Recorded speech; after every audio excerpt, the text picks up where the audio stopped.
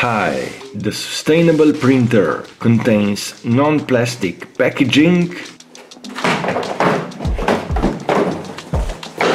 supports auto two-sided print to save on paper and uses ink bottles to save on waste on cartridges.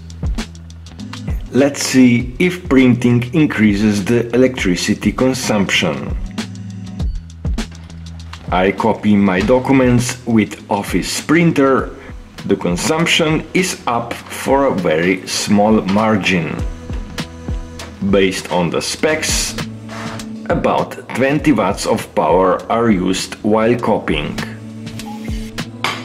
Let's do similar, but this time I boil the water for a coffee. After few seconds, my solar app shows increase of power to 1.5 kilowatts. The boiling took about 5 minutes.